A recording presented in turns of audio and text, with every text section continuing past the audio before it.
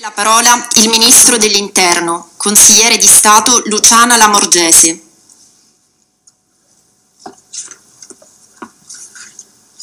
Signor Presidente, invitati tutti qui presenti, un grazie per essere qui con noi. La cerimonia di oggi ci riporta con la mente allo sgomento di quello 23 maggio di circa 30 anni fa.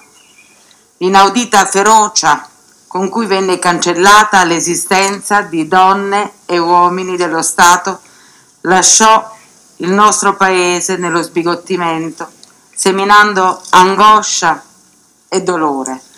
Fu un colpo durissimo inferto alla democrazia ed è una ferita ancora aperta per la comunità nazionale e per le famiglie delle vittime.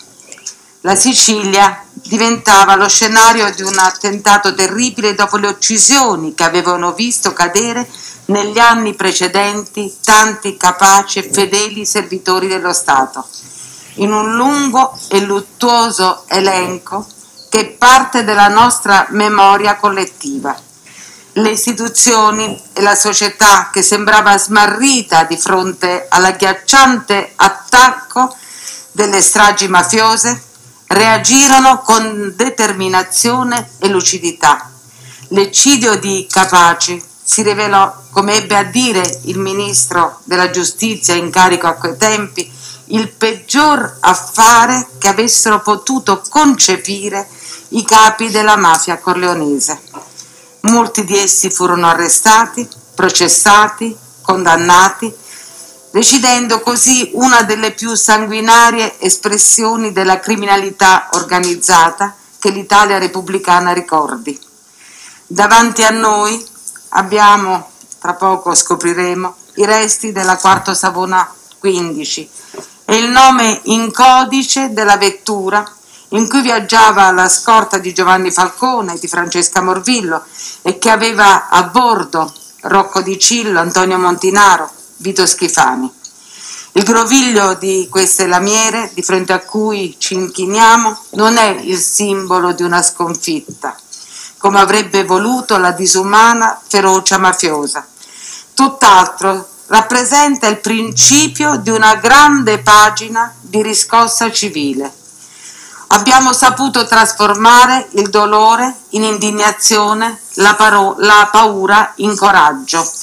Contro la mafia non è insorta soltanto la mano della giustizia, non sono stati soltanto anni di strenuo contrasto alla criminalità organizzata da parte delle forze dell'ordine. La strage di Capaci ha segnato l'inizio di una rivolta civile contro la subcultura mafiosa e le sue lusinghe, uno scatto di ribellione contro l'opprimente morsa criminale e la sua pretesa di ergersi ad antagonista dello Stato.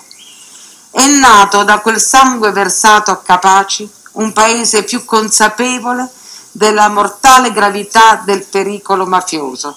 La criminalità organizzata è stata considerata da quel tempo, anche dalle nostre leggi, un'insidia e una minaccia non inferiore a quella portata dal terrorismo al cuore dello Stato. Il fiorire a Palermo, in Sicilia e poi in tutto il paese di iniziative animate dall'intento di dare voce all'Italia onesta, fiera della sua rettitudine e del suo ripudio della mafia. Rappresenta senza dubbio il frutto più maturo di una coscienza civile di cui dobbiamo essere orgogliosi. Abbiamo oggi organizzazioni, fondazioni, associazioni che si battono in vari campi con le armi pacifiche del diritto per una società finalmente libera dal ricatto mafioso nate per moto spontaneo, sono realtà che esprimono un attivismo solidale in cui si manifestano in maniera limpida i valori profondi della nostra Costituzione. Il più grande segnale che si possa dare alla criminalità organizzata è farle percepire con nettezza e con forza l'inarrestabile prosciugamento del consenso popolare su cui riposava il suo contropotere e dunque colpirla nella sua illusione di eternità.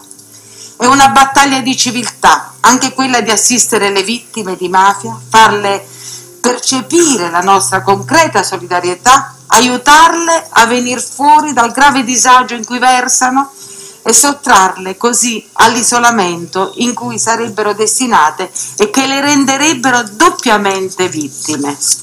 Penso anche alle donne delle famiglie mafiose che vogliono sottrarre i loro figli e se stesse dall'ambiente omertoso che le circonda e che hanno bisogno del nostro sostegno per guadagnare la speranza di un futuro diverso. È una strada lunga che non ammette scorciatoie, lastricata da difficoltà di fronte alle quali non dobbiamo sentirci impotenti, dobbiamo rimanere tutti uniti e così riusciremo a percorrerla fino in fondo senza che nessuno venga lasciato solo. Signor Presidente, ella rappresenta l'unità nazionale, la sua partecipazione a questo evento è un messaggio di solidale coesione del Paese che si stringe attorno e vicino alle sue vittime e ai loro familiari.